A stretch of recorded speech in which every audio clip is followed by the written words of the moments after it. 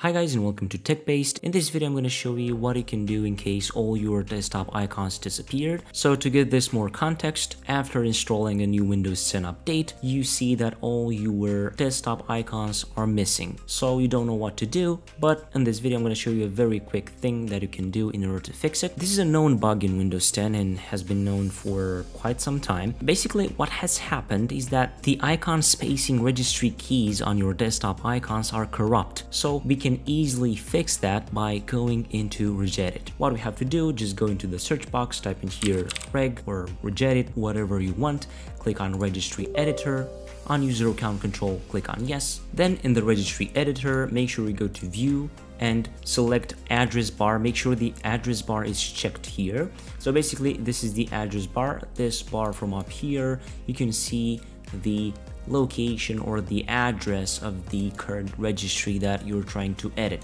So this is very important. Make sure you have this turned on by view and address bar. So in this address bar, you're going to have to paste in this command. You're going to have this command in the description down below.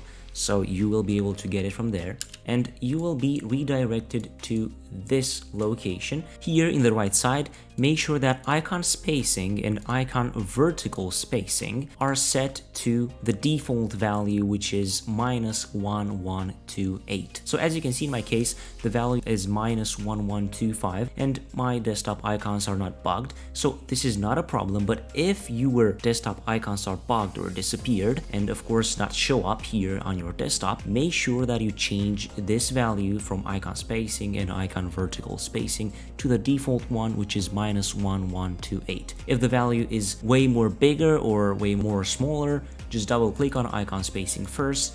Make sure you enter up here the default value as I've said minus 1128 okay and on icon vertical spacing yet again double click change it to minus 11 to 8 and then click on OK.